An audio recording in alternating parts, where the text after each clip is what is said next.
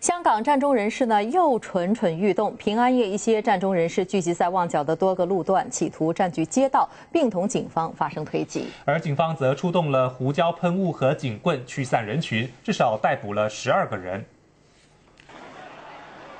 平安夜的香港基本平静，许多港人沉浸在迎接节日的欢乐中。面向维多利亚港的金紫荆广场披上了节日彩妆，绽放异彩。为了舒缓人流，尖沙咀的这条大街一半临时成了步行街。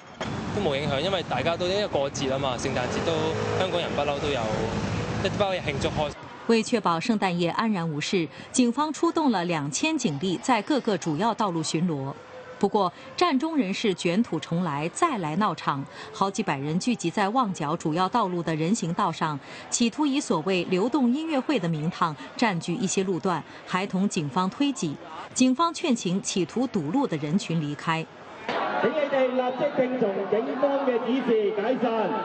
警方表示，站中人士制造混乱，阻碍交通。警方最终以胡椒喷雾和警棍驱散他们，并扣留了十二人。